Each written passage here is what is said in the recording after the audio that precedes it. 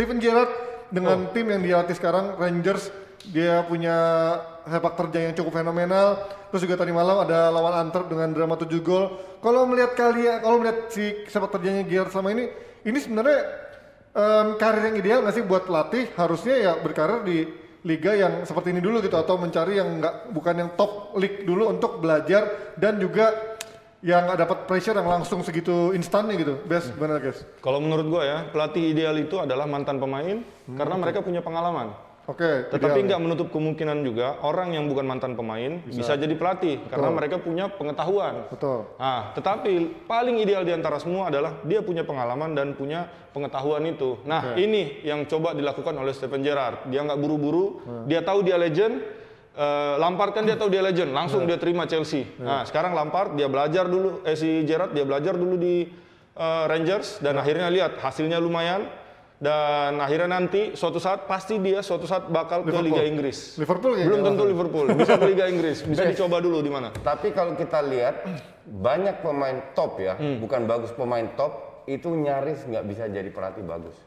Betul nggak? Itu karena mereka nggak punya yang dinamakan dengan pengetahuan. Mereka hanya belajar dari pengalaman. Yang dilatih pengalamannya dia waktu dia main, padahal itu adalah sepak bola masa lalu. Sedangkan sepak bola itu berubah terus. Oh, ya kan, zaman Ja- dulu Jadi bukan garansi bahwa mantan Bukan garansi. bagus Garansi. bisa jadi bagus, pelatih tapi dia harus disertai dengan pengetahuan juga. Harus baca juga, harus banyak referensi. Nah ini kalau ngeliat Gerrard nih udah 2000 kok. Sekarang saat lo ngomong, Hmm. nih gue baca nih. Selama karir Gerrard dalam em, 40 pertandingan terakhir bersama Rangers, 33 kemenangan, 6 seri, satu Hmm. kekalahan di piala domestik, nggak terkalahkan di liga dan nggak terkalahkan di kompetisi Eropa sejauh ini. Ini sudah secara rekor Ya, udah bentar, bagus bentar. banget kan. Mereka tahu nggak selevel apa Klub Skotlandia. Scot- Scotland? yang mana yang namanya Glasgow Rangers dan Ce- Glasgow Celtic itu kalau main di Inggris ya mungkin selevel Brighton. Serius, Serius. Lawan Brighton belum tentu menang. Oke. Ngerti nggak? Satu. Kedua, kita lihat di European League, lawannya itu siapa sih? Ada Ya, ya. lawan bagus nggak? Belum ada lawan bagusnya. Belum ya. ada sama sekali. Juga tadi malam Ja- terus susah. Jadi nggak heran kalau banyak pelatih kayak si siapa namanya Rodgers lah, Ya. dipecat dari Liverpool, beruntun juara. Ya. Ya levelnya cuma segitu dan cuma dua klub itu aja. Sekali-sekali Aberdeen bikin sulit atau Hearts bikin sulit. Cuman kalau nggak Rangers ya Celtic. Rangers kan sempat degradasi 4 Ya, tahun. ya. Habis itu naik lagi baru mereka sekarang bersaing lagi. Ja- jangan lupa juga tadi malam mereka menang berapa gol Ji? 7. 7 gol. Kebobolan juga. itu kan? artinya kebobolannya banyak. Iya. Gua nggak suka kalau pertandingan itu banyak golnya, walaupun kita banyak cetak gol. betul, Berarti setuju. ada something wrong Something di wrong dengan defense. pertahanan. Betul. Ini yang gue bilang waktu siaran DPI Barcelona tuh. Pada senang fansnya menang di Copa del Rey lawan Getafe, skornya besar. Tetapi mereka kebobolan Jebol, banyak. betul, Berarti ada betul. something wrong yang bisa dimanfaatkan oleh lawan ketika mereka ketemu. Bukan. Akhirnya kejadian. Jadi bukan karena filosofinya kan coach Yassin suka bilang, ke lu kebobolan satu gol, lu cetak tiga gol, you still win the Iya. game. Artinya kan Gi- Gini, ya lu lu harus pisah. Hah. Bahwa itu benar. Ya. Dan gue yakin best setuju. Ya. Lu kebobolan tiga, lu cetak empat. Hmm. Tapi tidak menutup kemungkinan, kok lu bisa kebobolan tiga? Ngerti nggak? Hmm. oke. Dan gue setuju. Ada ini ya. memang hari ini gue nggak akan banyak beda pendapat sama Best karena filosofi kita itu sama.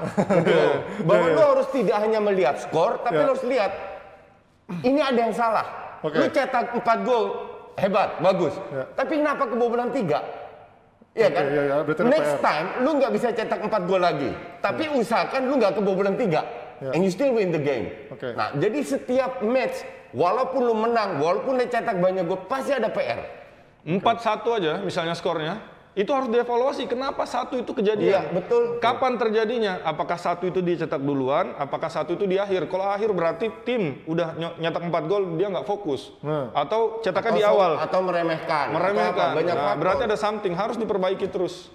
Nah ini kalau ngelihat beberapa contoh pelatih-pelatih lain Hmm. ada Lampard yang tadi udah disebut, tapi Pirlo juga begitu instannya bahkan dia nggak pernah ngelatih tim papan bawah ataupun bahkan akan apa pemain tim muda juga belum, belum pernah ngelatih kan. Hmm. Ini sekolahnya berapa tahun sih kalau di Eropa itu kan kalau lo kan ada lisensi dari C, B, A, D, eh, dari Pro. D malah. Eh, dari D ya. dari D, C, B, A, B, A, A Pro. A Pro. Ah, nah si Pirlo ini kok nggak ketahuan gitu dia ngambil lisensinya kapan? Biasanya di Eropa, kalau orang pemain profesional, ketika mereka sedang main, mereka udah ikut kursus. Oke. Nah, apalagi ada namanya fast track coach. Ya, ja- Ini fast track, apalagi dia ini juara Piala Dunia. Oke. Nah, jadi teman-teman sekelasnya ini top-topnya Serie A sekalian sama juara-juara Piala Dunia. Itulah dia ini peringkat tiga lagi kalau nggak salah si Pirlo. kalau di Belanda itu ada namanya dispensasi. Hmm. Kayak dispensasi itu kayak Bagus Kavi yang umur 19 bisa main di U18. Oke. Itu dapat dispensasi. Nah, khusus buat caps yang 60 ke, ke atas kalau di Belanda ya, caps 60 di timnas itu lewat fast track yang dia sebut best tadi itu namanya kalau di Belanda namanya dispensasi. Jadi kalau orang dari D, B, A, C dan Pro ini langsung tapi dalam setahun. Oh gitu, Dalam setahun, ya? setahun itu ya? mayoritas magang kayak gue di futsal gue tiga bulan ke KMVB. Ah. Mayoritas magang. Oke. Cek praktek ada. Kenapa Mourinho ambilnya di Skotlandia? Ah. Karena dia cari track yang paling cepat. Oh. Ja- jadi berkali-kali gue bilang, terakhir gue di interview di kasus gue bilang, lu punya ijazah, Ya. itu hanya bukti bahwa lu pernah ikut kursus. Ah. Tidak membuat lu seorang pelatih yang hebat. Ya, ya, Terbukti banyak pelatih nganggur, gak hanya di Indonesia, di seluruh dunia. Ya, ya, ya. Yang punya lisensi doang. Tahu nggak di Eropa pelatih SSB itu lisensinya UEFA Pro Wow. karena di sana udah terlalu banyak. Berarti UEFA Pro selevel siapa? Selevel Pep, selevel Mourinho. Karena udah banyak banget, mereka nggak dapat kerjaan akhirnya jadi pelatih, Pelatih di youth-nya di, Youth. di, di pro lah, di, di, di klub profesional. best dan juga coach, kira-kira menghadapi ICT, kira-kira taktikal seperti apa sih yang bisa efektif atau ya even Arteta pun mungkin nggak bisa menemukan solusinya, cuman secara teori mungkin ada cara untuk bisa menembus City gitu. Ini gimana? Coach, menurut gua ya, kan City dia main seperti ini, 1 3 2 1 4. Di mana Cancelo dia masuk Ke dalam. Sih? Dia masuk ke dalam Ya, Cancelo betul, ya. Betul. Terus di sini adalah si Bernardo Silva dia naik. Iya. Dia tadinya di sini dia naik. Akhirnya ini ada namanya half space. Ini dipakai sama eh, Gundogan. Dia bisa free move, sangat Iya. free. Nah, bagaimana cara untuk menghajar City? Menurut gua di sini ada space. Lampunya terlalu silau nih ya. Nggak, nggak kelihatan. Nggak Nggak bisa, kelihatan. terlalu silau lampunya. Iya. Mantul. Oke, ya. terus lanjut. Apa Oke ya, lanjut. pokoknya 1 3 2 1 4. Ketika mereka menyerang ini semuanya naik, ini semuanya naik. Nah, di sinilah ada space Ya, yang betul. semestinya Di, dimaksimalkan. dari sayap, betul. Bisa ya, Di sini, di sini ada kosong. Karena apa? Karena si Rodri dia bukan tipikal penjelajah. Iya, betul. Ya, dia sukanya pick the ball, pindahin ke depan. Joao Cancelo terlalu mengambil resiko. Sering dia dribbling, sering dia naik ke atas. Malah kadang-kadang dia meninggalkan Rodri sendiri di sini. Dia naik ke atas. Akhirnya di sini ada kosong. Ini gue gue tambah dikit ya. Ya, jalan. Jadi pa- pada saat bolanya di sini, ini akan geser. Oke. Ngerti nggak? Di sini ada satu masuk untuk memanfaatkan. Oke. Jadi pada saat bola di kanan contoh, ini akan geser ke tengah. Ini ada ruang lagi untuk bisa dimanfaat atau dari tengah. Jadi selalu ada space yang bisa dimanfaatkan. Oke. Karena dengan gaya City bermain yang dengan banyak orang di depan bola seperti yang dijelaskan oleh Best tadi, itu di belakang banyak sekali space. Nah, dengan sedikit peluang, pemain harus pintar untuk memanfaatkan. Maka gue, gue lebih setuju Lacazette di depan. Ada perkiraan formasi nggak? Eh, coach, sama. Perkiraan formasi nggak ada nggak? gue lebih setuju Lacazette di depan, Oke. Auba, Aubameyang di di kiri, kiri. Eh, Saka di kanan, Saka kanan. di tengah atau Emil atau Odegaard. Oke. Kenapa? Karena pengalaman. Oke. speed, Ngerti nggak? speed, speed. Odegaard sama Se- Sebaya Saka ya. Partnya itu cedera ya. Ja- Jadi atau Odegaard atau Smith Rowe. Oke. Salah satu di tengah. Auba kiri, Laka eh, striker, Saka kanan. Nah kalau di City ini sebenarnya kita udah bisa lihat Aguero berapa kali ada di bench, tapi emang udah berarti emang udah waktunya Udah- dia udah- udah harus selesai, rela Aguero. karena City kalau kata Coach kan juga lebih mainnya lebih fluid. Udah pindah, Juga pindah aja.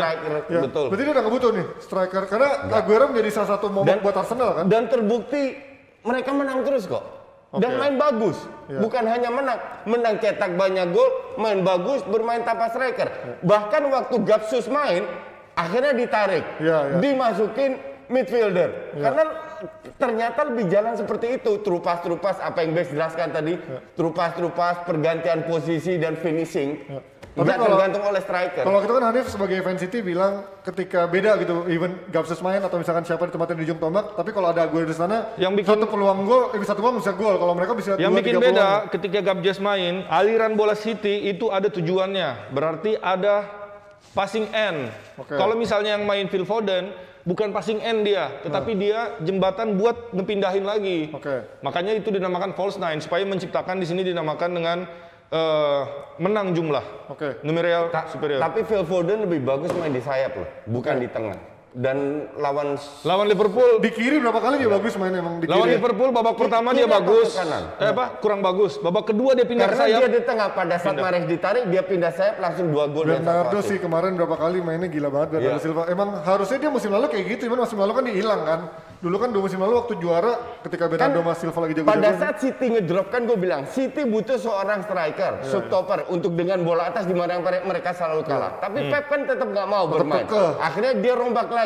Ya udah kita nggak perlu striker malah. Kita main dengan attacking midfield dan berjalan. Berarti kalian sama-sama setuju sebenarnya ini bola bolanya City ya. Cuman Iya, iya. selalu akan ada peluang buat Iyalah, Arsenal kita ya. realistis. Realistis. Oke, Terakhir nih. apa? Ada lagi? Udah digambar.